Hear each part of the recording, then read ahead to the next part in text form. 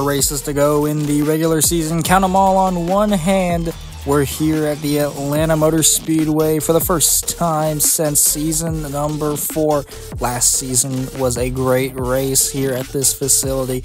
Beautiful super speedway racing all around this track. The Candyman of Kyle Busch took home that victory last season. It was quite the victory for him, but not a whole lot of victories for these drivers right here. Joey Logano being the farthest away from victory as of right now. 46 races ago was the last time he won a race. Brad right on his tail, only 10 races behind him, and others on that graphic as well, chasing their return to victory.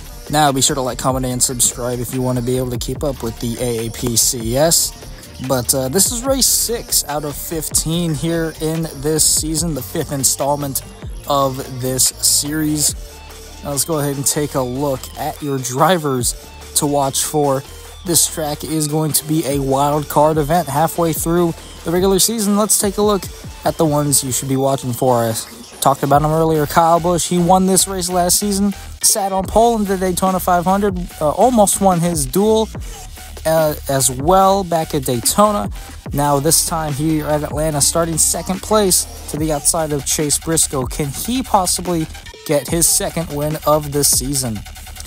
Now, a bit farther down the line, we find Brad Keselowski. 36 races ago, he won his fifth career race in the AAPCS. He was leading the, or still is leading the most wins of all time, but ever since then, he has not been able to do much. But you never want to count out the six car at these super speedway races. And a lot, lot farther down the line, Tyler Reddick sits outside of the top 20. Says not to count him out just yet. He still has a bit of fire underneath that hood, and he could possibly be looking for a solid top 15 finish today after winning uh, just two weeks ago at Las Vegas. As the cars roll off, let's get to your starting lineup here at Atlanta. Chase Briscoe sits on pole with Kyle Busch to the outside in row number one. And then row number two, we have two Fords, Ryan Blaney and Michael McDowell.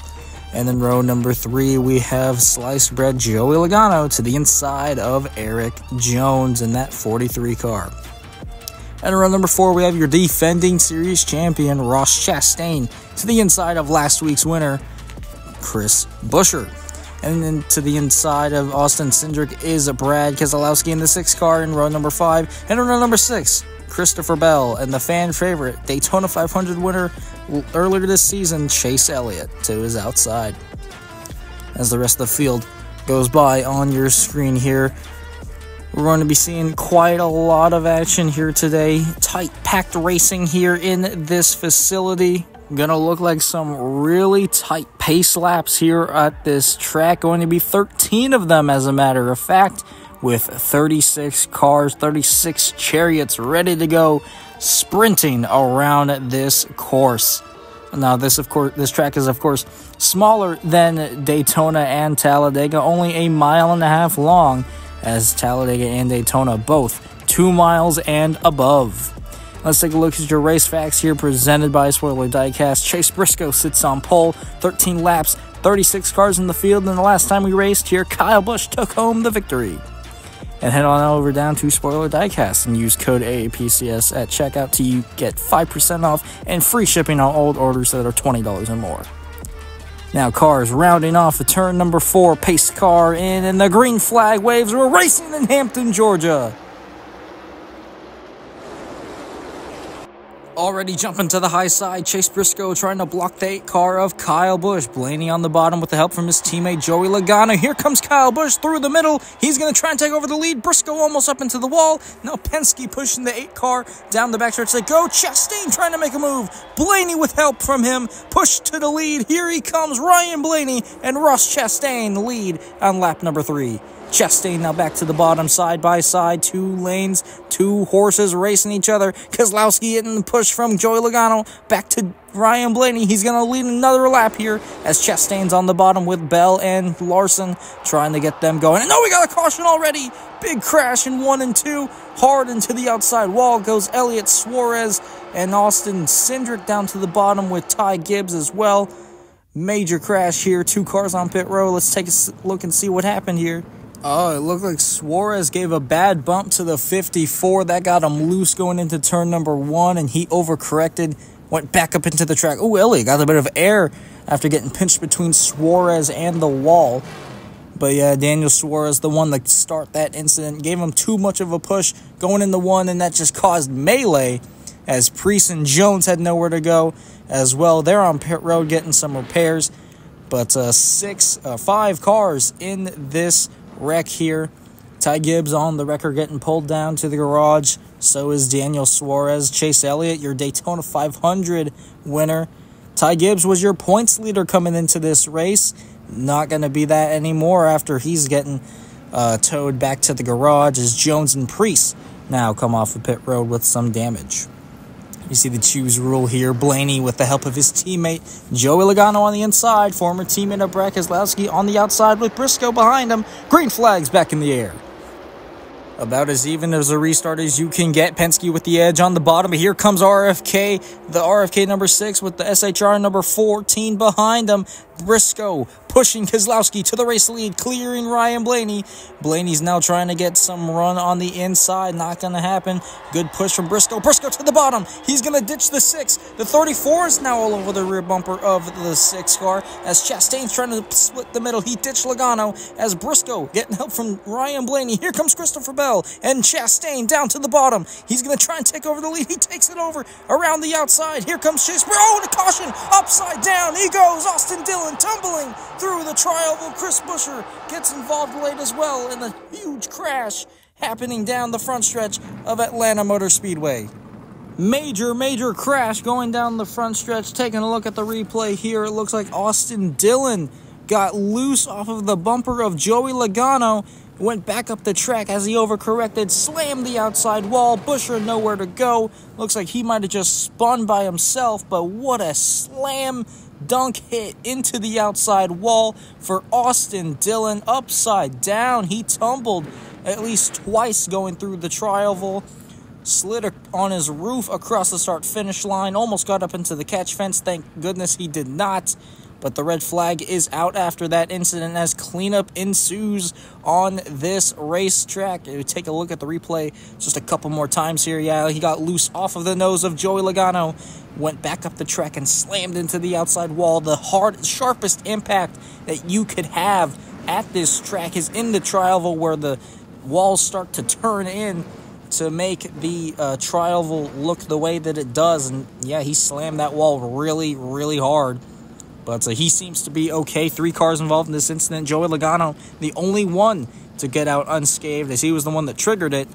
But uh, the yellow flag is back out as we see the choose rule here. Chastain's going to choose the high side with Chase Briscoe going to be ditching Christopher Bell for the restart as the green flag's back in the air. We are racing once again at Atlanta with only four laps to go.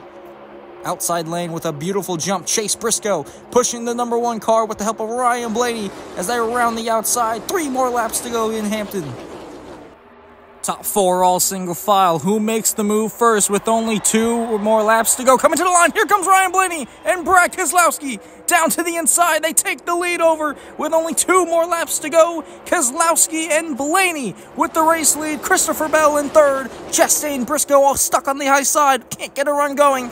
Off turn four, white flag in the air. Here comes Keselowski with Christopher Bell down to the inside. Ryan Blaney left out to dry. Chastain through the middle. And here comes Christopher Bell down to the inside with the help of Kyle Larson around the outside. Keselowski with Blaney. And it's too close to call at the line.